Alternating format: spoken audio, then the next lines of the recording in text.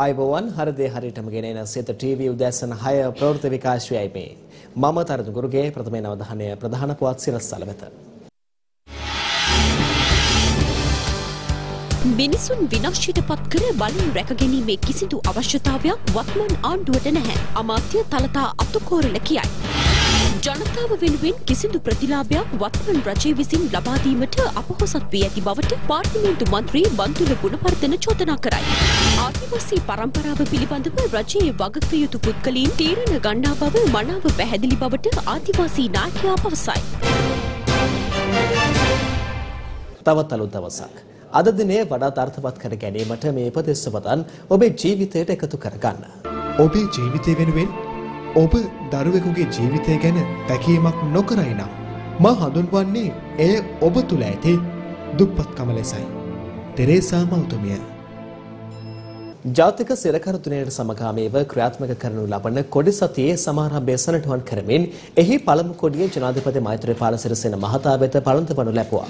ඒ ජනාධිපති කාර්යාලයේදී සිරගත වූවන්ගේ සුබසාධනය අරමුණු කර ගනිමින් සෑම වසරකම සැප්තැම්බර් මස 12 වනදාට යෙදෙන ජාතික සිරකරු දිනයට සමගාමීව ක්‍රියාත්මක කරනු ලබන කොඩි සතියේ සමාරම්භය සනිටුහන් කරමින් එහි පළමු කොඩිය අද පෙරවරුවේ ජනාධිපති කාර්යාලයේදී ජනාධිපති මෛත්‍රීපාල සිරිසේන මහතා වෙත පළඳවනු ලැබුවා. ශ්‍රී ලංකා සිරකරු සුබසාධන සංගමය සහ බන්ධනාගාර දෙපාර්තමේන්තුව එක්ව මෙම කොඩි සතිය වාර්ෂිකව ක්‍රියාත්මක කරනු ලබනවා. සිරකරුවන් උදෙසා වෛද්‍ය සායන ඇස් කන්නඩි ලබා දීම සනීපාරක්ෂක පහසුකම් වැඩි දියුණු කිරීම ඇතුළු සිරකරුවන්ගේ පවුල් වෙනුවෙන් විවිධ ප්‍රජා සත්කාර දියත් කිරීමද මෙහිදී සිදු කෙරෙනවා. අග්‍රාමාත්‍ය රනිල් වික්‍රමසිංහ මහතා සහ වියට්නාම් අග්‍රාමාත්‍යවරයා අතර ද්විපාර්ශ්වික සාකච්ඡා ඊයේ පැවැත්වුණා. මෙහිදී දෙරට අතර වැදගත් ක්ෂේත්‍ර ගණනාවක් සම්බන්ධයෙන් අවධානය යොමු වූ බවයි වියට්නාමයේ සිටින සීත ප්‍රවෘත්ති කණ්ඩායම පවසන්නේ. ලෝක ආර්ථික සමුළුවේ ආරාධනය මත වියට්නාමයට ගිය අග්‍රාමාත්‍ය රනිල් වික්‍රමසිංහ මහතා සහ වියට්නාම් අග්‍රාමාත්‍ය ගුවෙන් ෂුවෙන් මහතා අතර ද්විපාර්ශ්වික සාකච්ඡා අද ආරම්භ වුණා. වියට්නම් අග්‍රාමාත්‍ය කාර්යාලයේදී පැවති මෙම සාකච්ඡාවේදී දෙරට අතර ආර්ථික වශයෙන් පමණක් නොව දේශපාලන ආගමික සමාජීය හා ව්‍යාපාරික අංශයන් අතරද හුවමාරු වැඩසටහන් ආරම්භ කරලීමේ වැදගත්කම පිළිබඳව අවධාරණය වී තිබෙනවා. ශ්‍රී ලංකාව සහ වියට්නාමය අතර රාජ්‍ය සබඳතා පමණක් නොව පාර්ලිමේන්තු දේශපාලන පක්ෂ හා ජනතාව අතර සබඳතාත් ශක්තිමත් කරලීම සඳහා පීවර ගත යුතු බව වියට්නාම් අග්‍රාමාත්‍ය ගුවෙන් ෂුන් ෆුක් මහතා මෙහිදී සඳහන් කර තිබෙනවා. මෙහිදී වියට්නාමයේ සහ ශ්‍රී ලංකාව අතර සංචාරක ව්‍යාපාරය ප්‍රවර්ධනය කිරීම උදෙසා දෙරට අතර ඍජු ගුවන් සේවා ආරම්භ කිරීම අවශ්‍යතාව පිළිබඳව වියට්නාම් අග්‍රාමාත්‍යවරයා කරුණු පැහැදිලි කර තිබෙන අතර ඒ සඳහා අවශ්‍ය සියලු පහසුකම් සැපයීමට ශ්‍රී ලංකාව සූදානම් බව අග්‍රාමාත්‍ය රනිල් වික්‍රමසිංහ මහතා සඳහන් කර තිබෙනවා. මෙහිදී ලබන නොවැම්බර් මාසයේදී ශ්‍රී ලංකාවේ ව්‍යාපාරික නියෝජිත පිරිසකගේ වියට්නාම් සංචාරයක් සංවිධානය කිරීමටද ඉන්පසු ව්‍යාපාරික ක්ෂේත්‍රයේ නිරන්තර හුවමාරු වැඩසටහන් සංවිධානය කිරීමටද තීරණය වී තිබෙනවා. මෙම ද්විපාර්ශ්වික සාකච්ඡාවේදී ඉන්දිය සාගරයේ නිදහස් නාවක ගමනාගමනය හා සාමය ආරක්ෂා කරලීම වෙනුවෙන් කැපවී කටයුතු කරන බව අග්‍රාමාත්‍යවරු සහතික වී තිබෙනවා. එළඹෙන වසරේදී ජාත්‍යන්තර බෞද්ධ උත්සවය වියට්නාමයේ හැනොයි නුවරදී පැවැත්වීමට සියලු කටයුතු සූදානම් කොට ඇති බැවින් ශ්‍රී ලංකාවේ සහයද වියට්නාම අග්‍රාමාත්‍යවරයා මෙහිදී ඉල්ලා සිටියා. මේට ප්‍රතිචාර දක්වමින් ශ්‍රී ලංකා අග්‍රාමාත්‍ය රනිල් වික්‍රමසිංහ මහතා පැවසුවේ වියට්නාමයේ හා ශ්‍රී ලංකාව අතර තිබෙන්නා වූ සමගතාවයන් තව තවත් තහවුරු කරගත යුතු බවයි. විශේෂයෙන්ම ආගමික නියෝජිතයන් හුවමාරු කර ගැනීම සහ දෙරටේ ඓතිහාසික සම්බන්ධතාවයන් පිළිබඳව නිසි පරිදි සොයා බැලීම සඳහා ප්‍රාමාණික අදහස් වලින් යුත් කමිටුවක් පත් කිරීමේ වැදගත්කමද ශ්‍රී ලංකා අග්‍රාමාත්‍යවරයා මෙහිදී සඳහන් කර සිටියා. සියත නිවුස් වෙනුවෙන් වියට්නාමයේ හැනොයි නුවර සිට චන්දිමාල් සංජීව තිසංක හේවා වෙල්ලාල සමග මම ප්‍රසන්න ජයනෙත්තේ.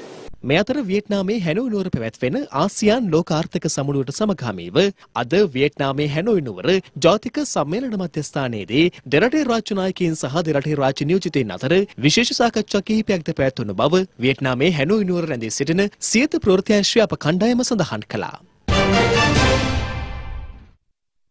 තෙදින නිල සංචාරයක් සඳහා ඉන්දියාව බලා පිටත්ව ගිය හිටපු ජනාධිපති මහින්ද රාජපක්ෂ මහතා නවතිල්ල ගුවන්තොටුපළේදී ಭಾರತೀಯ ජනතා පක්ෂයේ ජ්‍යෙෂ්ඨ නායක ආචාර්ය සුබ්‍රමණියම් ස්වාමි මහතා විසින් පිළිකනු ලැබුවා. තෙදින නිල සංචාරයක් සඳහා ඉන්දියාව බලා පිටත්ව ගිය හිටපු ජනාධිපති මහින්ද රාජපක්ෂ මහතා නවදිල්ලි නුවරට ළඟා වී තිබෙනවා. නවදිල්ලේ ගුවන්තොටුපළේදී ಭಾರತೀಯ ජනතා පක්ෂයේ ජ්‍යෙෂ්ඨ නායක ඉන්දිය ලෝක සභාවේ මන්ත්‍රී ආචාර්ය සුබ්‍රමණියන් ස්වාමි මහතා විසින් හිටපු ජනාධිපතිවරයා පිළිකනු ලැබවා.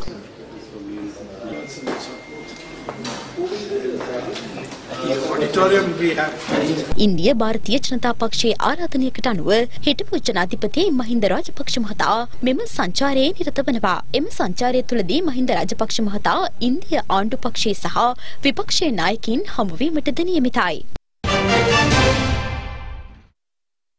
පසුගේදා පැවති ජනපලයේ කොළඹට පාගමන ශ්‍රී ලංකා නිදහස් පක්ෂයේ කාර්යාලය දිරිපිටින් ගමන් කිරීමේදී එයට අපහාස වන ආකාරයට හැසිරීම සම්බන්ධයෙන් තමා බෙහෙවින් කනකාටු වන බව ශ්‍රී ලංකා නිදහස් පක්ෂයේ ලේකම් මහාචාර්ය රෝහණ ලක්ෂ්මන් පියදාස මහතා පවසනවා. උන්ගේ අනුගාමිකයන් ලබා පක්ෂ මූලස්ථානයට අපහාස කරවීම මම හිතන්නේ කනගාටුදායක දෙයක්. ඒ කාරට තමන් වදු මවට අපහාස කරනවා වගේ ක්‍රියාවලියක් මට හිතෙනවා ඒක එක්තරා විදිහක අපේ සමාජයේ කම්පනයක් ඇති කරපු සිදුවීමක් වෙන්න ඇති මම දැක්ක පසුගිය දවස්වල මේ පිළිබඳ ජන මාධ්‍යවල වාර්තා කරලා තිබුණා. මම ඇත්තටම මේකෙන් ඒ සිදුවීම ගැන එක්තරා විදිහක කම්පනයකටපත් වුණා. නීති කටයුත්තක් සඳහා ප්‍රකාශයක් ලබා ගැනීමට නියමිතව සිටියේදී විදෙස්ගත වුණු ආරක්ෂක මාණ්ඩලික ප්‍රධානී අද්මිරාල් රවින්ද්‍ර විජයගුණරත්න මහතා විදෙස්ගත වීම පිළිබඳව මෙම මාධ්‍ය හමුවේදී අමාත්‍ය මහින්ද සමරසිංහ මහතා අදහස් දක්වා සිටියා. ඉතින් මේ මේ පැනලා ගිය කතාවක් සමහරු සඳහන් කරලා තිබ්බා. ඒක විශේෂ මොකද මේ වගේ රණවිරුවෙක් එහෙම පැනලා යන්නේ නැහැ. තුමා අපිට මේ නිදහස ලබා දෙන්න විශාල පරිත්‍යාගයක් කරපු රණවිරුවෙක්. තුමා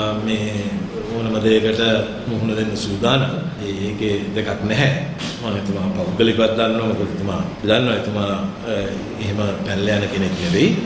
රාජකාරියකට ගිහිල්ලා තියෙන්නේ රට වෙනුවෙන් ගිහිල්ලා තියෙන්නේ. අපරාධ විමර්ශනංශයේ හෝ කාට හරි ප්‍රකාශයක් ගන්න ඕන. අනිවාර්යෙන්ම එතුමා ආපුහම පස්සේ ඒ ප්‍රකාශය දෙන්න එතුමා සූදානම්ෙන් ඉන්නවා. ඒක කිසිම ගැටලුවක් නැහැ. ජනතාව වෙනුවෙන් කිසිදු ප්‍රතිලාභයක් අද වන විට වත්මන් රජය විසින් ලබා දීමට අපොහොසත් වී ඇති බව පාර්ලිමේන්තු මන්ත්‍රී බන්දුල ගුණවර්ධන මහතා පවසනවා. කොළඹදී පැවති මාධ්‍ය හමුවකට එක්වීමෙන් මන්ත්‍රීවරයා මේ බව සඳහන් කළා. දැවන්ත මූල්‍ය අර්බුදයක් රට තුළ නිර්මාණය වීමත් කරන කොටගෙන නැවත වතාවක් ಖನಿජ තෙල් මිල ඉහළ දමනු ලැබුවා. දැන් දැන් ආණ්ඩුවට පසුගිය කාලේ කරපු බොරුව ජනතාවට කරන්න බෑ. දැන් ඔබතුමන්ලාට පැහැදිලි වෙනවනේ ලෝක වෙළඳපොලේ කනිජ තෙල් මිල අඩු වෙලා තියෙනවා. කනිජ තෙල් ලංකාවට ආනයනය කරන්න ගිය වියදම හරියඩකට වඩා වැඩියෙන් අඩු වෙලා තියෙනවා. රටින් පිටට ගිය විදේශ විනිමය ඉතා විශාල ප්‍රමාණයක් රට ඇතුළේ ඉතුරු වෙලා තියෙනවා. ඒ ඉතුරු වීමෙන් රටේ ජාත්‍යන්තර සංචිත වැඩි වෙලත් නැත්තම් රුපියලේ අගිය දවස ගානෙත් කඩා වැටෙනවා. ඒ වාසිය පාරිභෝගිකයට ලැබිලත් නැත්තම් එතන තියෙන්නේ සම්පූර්ණ රාජ්‍ය මූල්‍ය කළමනාකරණයේ වැරද්දක් කියලා කොතරම් අකමැත්තෙන් වුණත් පිළිගන්න සිද්ධ වෙනවා. රටක මූල්‍ය ස්ථාවරත්වය ඇති කරන්න බැරි නම් ආණ්ඩුවේ ප්‍රධාන අරමුණ වන රටේ මුදල ආරක්ෂා කරගන්න බැරි නම් ජනතාවට කිසිදු සාහනයක් ලබා දෙන්න ඒ ආණ්ඩුවට පුළුවන් කමක් නැහැ. මිනිසුන් විනාශයට පත්කර බලය රැක ගැනීමේ කිසිදු අවශ්‍යතාවයක් වත්මන් ආණ්ඩුවට නොමැති බව අමාත්‍ය තලතා අතුකෝරාල මහත්මිය පවසනවා. රත්නපුර යායින්න ප්‍රදේශයේ පැවති උත්සවයක් අමතමින් අමාත්‍යවරයා මේ බව සඳහන් කළා. බලය ලබා ගැනීම සහ බලයේ අවශ්‍යතාවය. දැන් අලුතෙන්ම අවශ්‍ය වෙලා තියෙන මහින්ද රාජපක්ෂ මහත්තයාගේ කල්ලියට එන මොන ක්‍රමයකට හරි මිනියක් ලබා ගන්න. ඒකට තමයි දැන් උද්ඝෝෂණ කරන්නේ. වෙන මොක කිසිම හේතුවක් නැහැ මල මිනියක් ලබා ගැනීම එකම අරමුණ තියෙනවා. ඉස්සර වගේ නෙමෙයි දැන් හැමතිස්සෙම අපි එළියට බහිනකොට ටිකක් කල්පනාවෙන් බහින්නේ කොයි පාරෙන්ද යන්න පුළුවන් කියලා උද්ඝෝෂණ. මොකටද මේ උද්ඝෝෂණ කරන්නේ? ආණ්ඩුවට කියන කොහොම හරි වෙඩිල්ලක් තියාගන්න. එච්චර මෝඩ ආණ්ඩුවක් නෙමෙයි මේක. අපිට මිනිස්සු මරලා බලය රැක ගන්න අවශ්‍යතාවයක් නැහැ. මිනිස්සුන්ට කතා කිරීමේ අයිතිය, ඒගොල්ලෝ අදහස් ප්‍රකාශ කිරීමේ නිදහස, ඒගොල්ලන්ට කැමති විදියට උද්ඝෝෂණය කිරීමේ අයිතිය මේ ආණ්ඩුව ආරක්ෂා කරලා දීලා තියෙනවා. අපි කියන්නේ හැම මිනිසෙකුටම ජීවත් වීමේ අයිතිය දෙනවා. අපිට කාදවත් කාවවත් පාගන්න අවශ්‍ය නැහැ. අපි විතරක් මේකේ බලයේ ඉන්න ඕනේ කියලා අපි විශ්වාස කරන්නේ ආදිවාසී පරම්පරාව පිළිබඳව රජයේ වගකිව යුතු පුද්ගලයන් තීරණ ගන්නේ කෙසේද යන පිළිබඳව මනාව පැහැදිලි වන බව ආදිවාසී නායක උරුවරිගේ වනිලැත්තන් පවසනවා. ඒ ආදිවාසී සමුළුව සඳහා සහභාගී වීමෙන් අනතුරුව මාධ්‍ය වෙත අදහස් දක්වමින් ආදිවාසීන්ගේ ගැටලු පිළිබඳ රජයේ මැති ඇමතිවරුන් දැනුවත් කිරීම වෙනුවෙන් පවත්වනු ලබන ආදිවාසී සමුළුව හේනානිකල ආදිවාසී ගම්මානයේ හේනානිකල වැව් ඉස්මත්තේදී පසුගියදා පැවැත්වුණා. ඒ ආදිවාසී නායක විශ්වකීර්ති වනස්පති උරුවරිගේ වන්නිලැත්තන්ගේ සහ හේනානිකල ආදිවාසී නායක තලාවරිගේ ගුණබණ්ඩියා ඇත්තන්ගේ ප්‍රධානත්වයෙන් මෙහිදී ආදිවාසී ජනයාහට මුහුණ පෑමට සිදුව තිබෙන ගැටලු රැසක් පිළිබඳ අමාත්‍යවරුන් සමග සාකච්ඡා කිරීමට නියමිතව තිබූ අතර මේ සඳහා මැති ඇමතිවරුන් ඇතුළු පිරිසක් එක්වීමට නියමිතව තිබුණද මෙම සමුළුව සඳහා හා කිසිදු අමාත්‍යවරයෙකු සහභාගී වී නොසිටි බව හේනානිකල ආදිවාසී නායක තලාවරිගේ ගුණපණ්ඩියා ඇත්තන් ප්‍රකාශ කළා.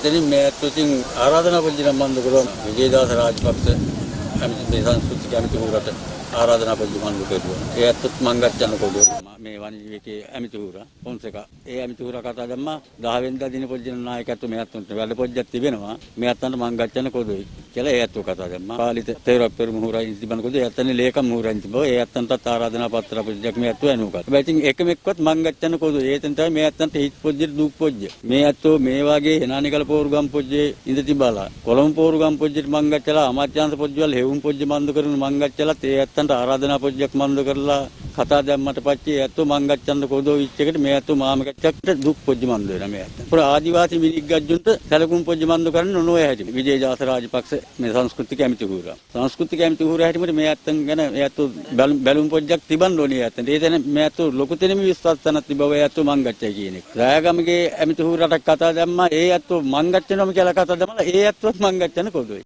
එතනින්ම දැන් අද දවස් පුජ්‍ය මේ ඇත්තන්ටත් වැඩ පුජ්‍ය මහම කෙච්චක් තිබනකම් මේ ඇත්තන්ට ආරාධනා පුජ්‍ය මන්දු කරපු කොළ පුජ්‍යේ තිබවුවා මාම කෙච්චක් ඇමති හූරලා මේතනට මං ගච්චනවා කියන්නේ. ඇත්තටම අද දවස් පුජ්‍ය අයිරුකුලට මන්දු කරනකොට එකම ඇමති හූරෙක්වත් මේතනට සහභාගී වෙන මන්දු වෙන්නකොට. ඉතින් මේ ඇත්තන්නේ પરම්පරා පුජ්‍යයට මේ රට පුජ්‍යේ පාලකයෝ කියලා රඳන මේ දේශපාලන හූරලා සැලකුම් පුජ්‍ය මන්දු කරන්නේ කොයි හැටිමටද කියන එකම මේතනින්ම පැහැදිලි පුජ්‍ය මන්දු. කළුතර කෙත්හේන ජල පවිත්‍රාකාරයෙන් බෙදාහරන පානීය ජලයට මුහුදු ජලය මිශ්‍ර වීමෙන් එම ප්‍රදේශයේ ජනතාව දැඩි අපහසුතාවයට පත්ව සිටිනවා.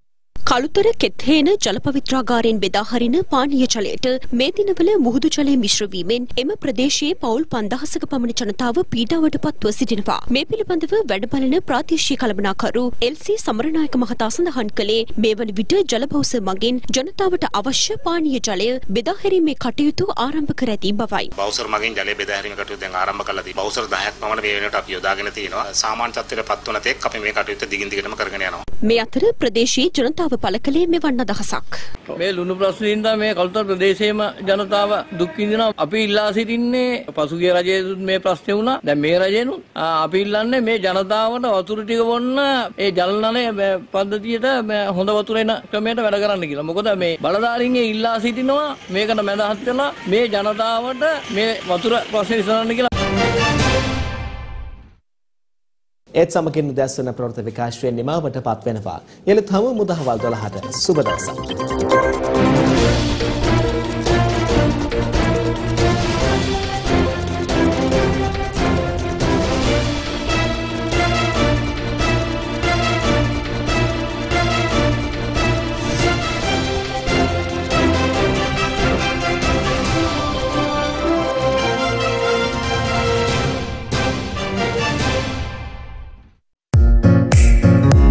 දිනපතා අලුත් වීඩියෝ සහ ප්‍රවෘත්ති නැරඹීමට ඉහත බටන එක කලික් කර සියත TV සබස්ක්‍රයිබ් කරන්න. අලුත් වීඩියෝ ගැන මුලින්ම දැනගන්න මෙම සීනුව කලික් කරන්න.